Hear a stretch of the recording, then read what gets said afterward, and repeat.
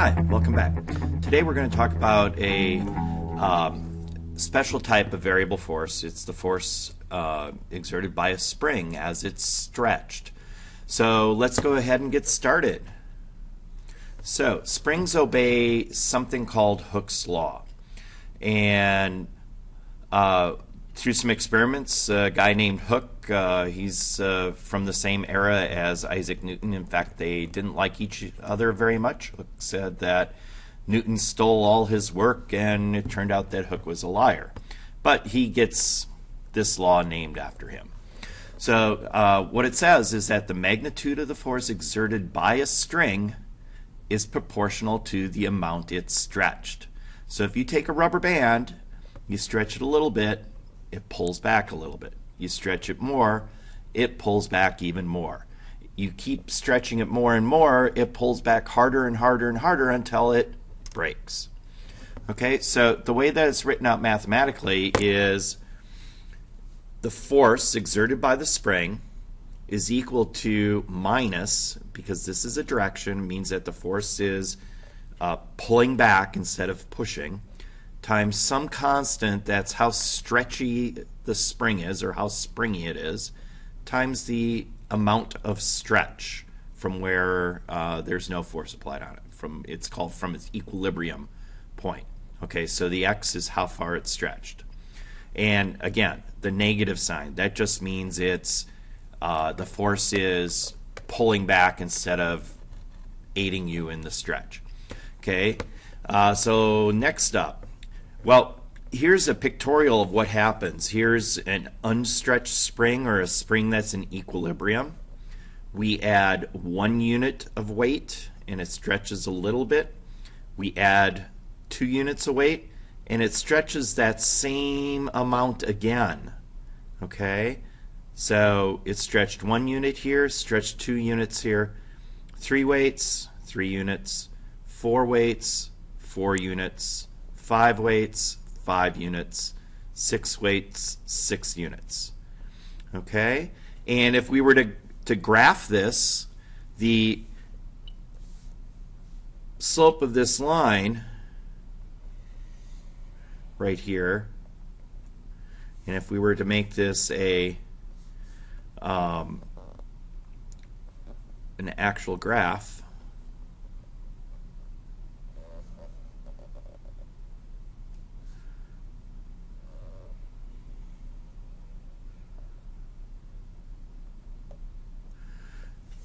and this was force. And this was displacement. The slope of this line is equal to k. Okay, so it would be force divided by the amount of stretch. So force divided by the amount of stretch is equal to K, which is the spring constant. And the units are newtons per meter of stretch. How many newtons to make it stretch one meter? Okay, so hopefully that helps visualize what this spring stuff is looking like. Okay, another graphic of the same sort of thing. So we have a spring, it's at equilibrium. We have a spring, it's at equilibrium, and we're going to stretch it a uh, distance x. Okay, so we've stretched it a distance x, and the spring is pulling back with a force of F sub s, or spring force. Okay, and according to Hooke's law, the spring force is equal to the coefficient, or the spring constant, uh, k times x, and it's negative because of the direction. And there's our graph. Looks similar to what we did on the last slide. And uh, if you remember from uh, previous topic, the one on variable forces, the area under the force distance curve or force displacement curve is equal to the work. Okay, so the area of that triangle uh, is minus 1 half kx squared. Well, where does that k come from in the x squared? Well, if we write it out like the area of the triangle, so work is equal to 1 half the base, which is x, and the height, well, that's force, but the Hooke's law says that the force is equal to minus kx. So if we combine this all together, we end up with 1 half kx squared, and the force is opposite the direction of the stretch, so it's minus, negative work. So that's how this works. Now, for uh, the AP folks uh, in uh, calculus, we're, we're going to do the calculus version of calculating the work. We have a function for the force. Okay, so that would be um, F as a function of x is equal to minus k x. Now, work is equal to the integral of force dx. Okay, so what we're doing is we're slicing up our x's into real tiny slices so that the force is almost constant over those tiny slices. Okay, and we're going to uh, take this integral from a distance of 0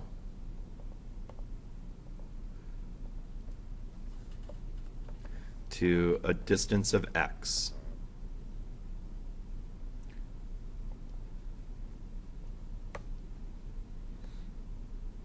Okay, so the force is minus kx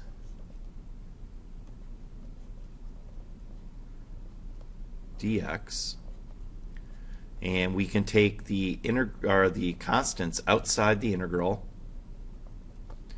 So it's going to be minus k times the integral of x dx. And following the, the rules for integration this becomes x squared increase the exponent, divide by the exponent, and we're going to evaluate from 0 to x.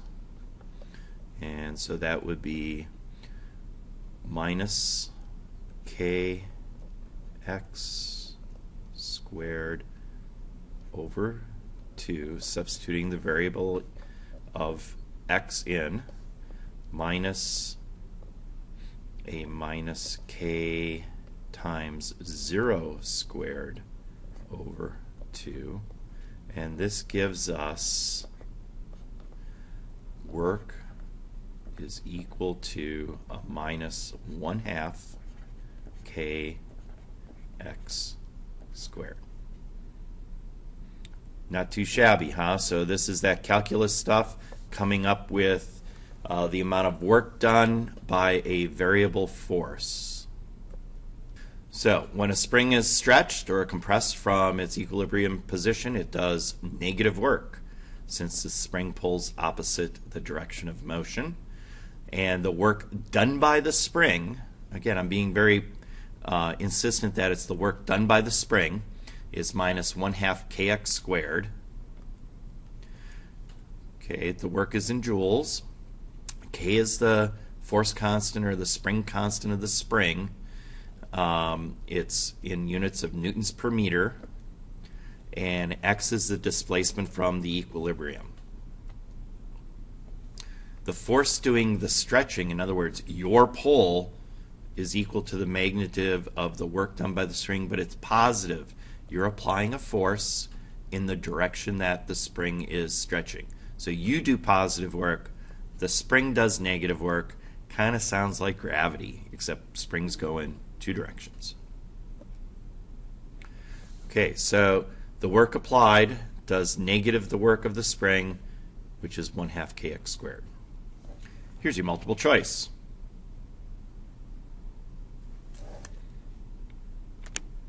Welcome back. We'll do a couple of sample problems here uh, before I give you your free response. So we have a spring that has a force constant or a K of 250 newtons per meter. It's initially at its equilibrium length. How much work must you do to stretch the spring 0.05 meters? Okay, so we have a K. K is equal to 250 newtons per meter. Okay, and the work must you do, so that's going to be negative the work done by the spring. We'll call this the work applied here. And that's equal to uh, a 1 half kx squared.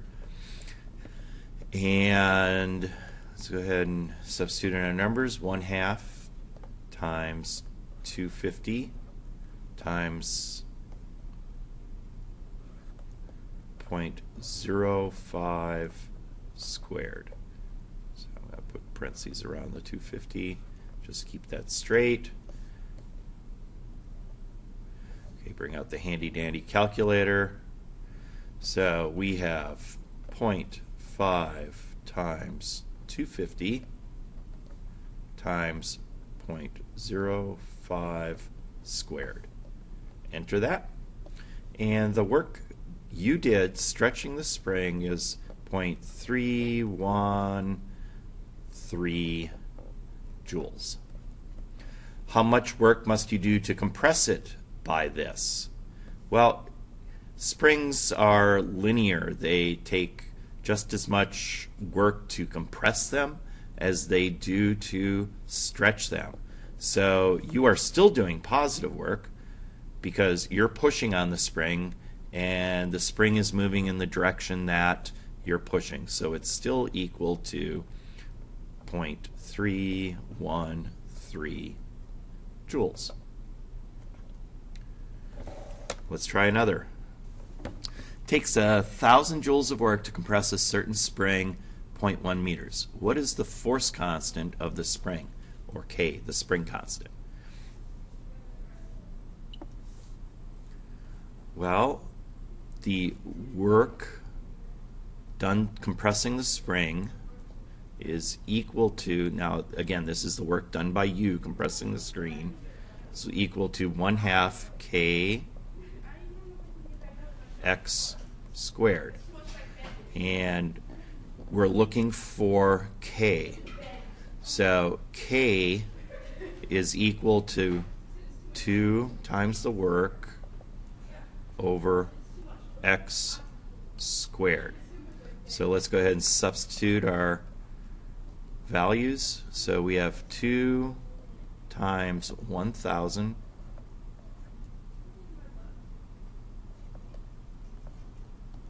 and that's e over, I'm sorry, that's not equal to yet, 0.1 squared. Let's go ahead and pull the calculator up again, see if that helps us out. Okay, so 2 times 1,000 divided by 0.1 squared.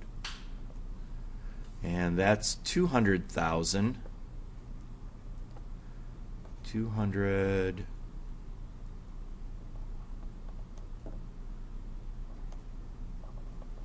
thousand newtons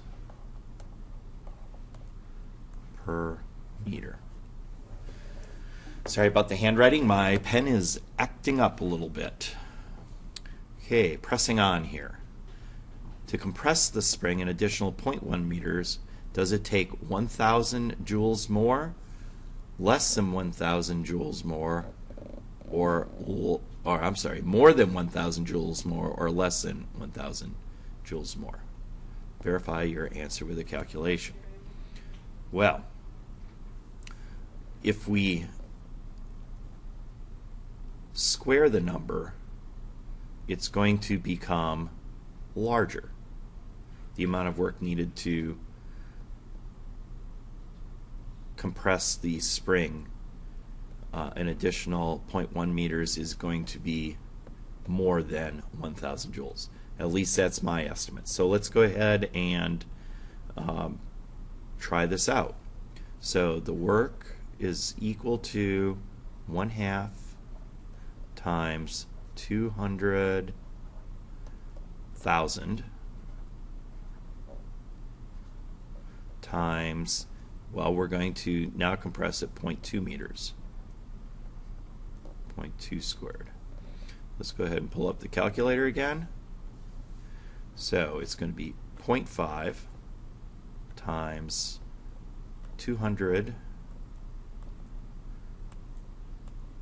thousand times 0.2 squared and that's equal to 4,000 joules. Not only is it more, it's four times more. Okay, if you double the distance, you quadruple the work. Not too shabby, huh? Okay, we have three identical springs, X, Y, and Z. They're hung as shown. When a 5 kilogram mass is hung on X, the mass descends 4 centimeters from its initial point. When a 7 kilogram mass is hung on Z, how far does the mass descend? Okay, well, let's use x to find the spring constant, and then we can work on the yz composite. So, uh, to find k, we're going to use Hooke's law. So force is equal to minus kx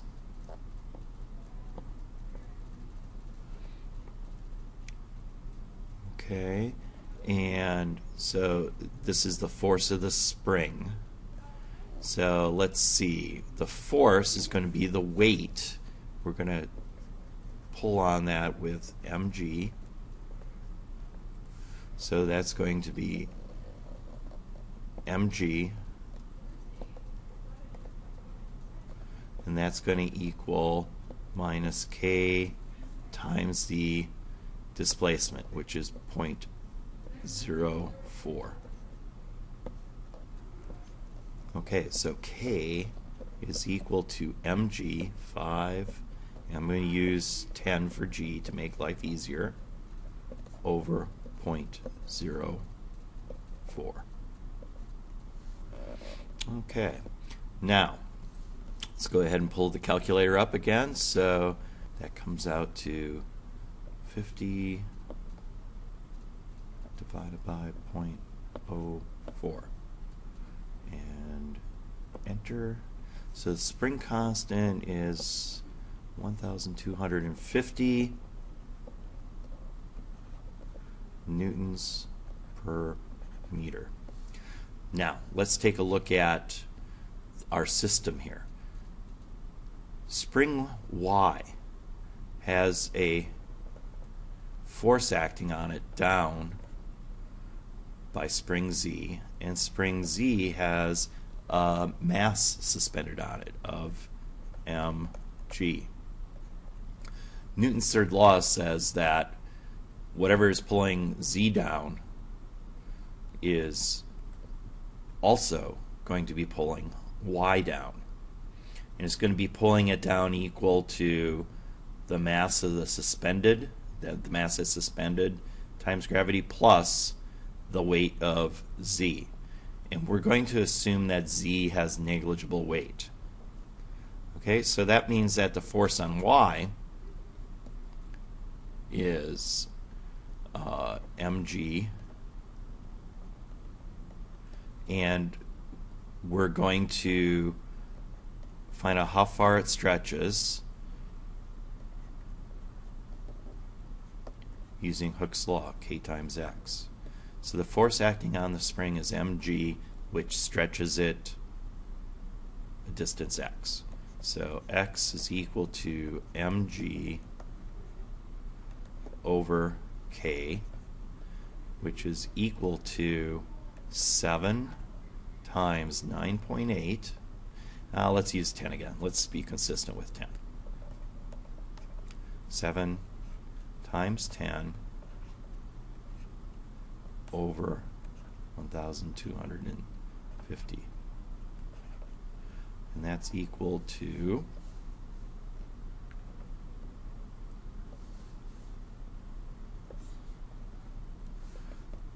Seventy divided by twelve fifty.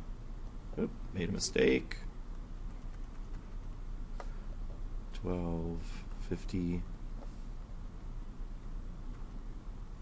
Okay, well that just didn't work out, so I'm going to clear it and try all over again. 70 times, no, it's not 70 times, 70 divided by 1250. Enter it, and it's going to be 0.056 meters, which is 5.6 centimeters.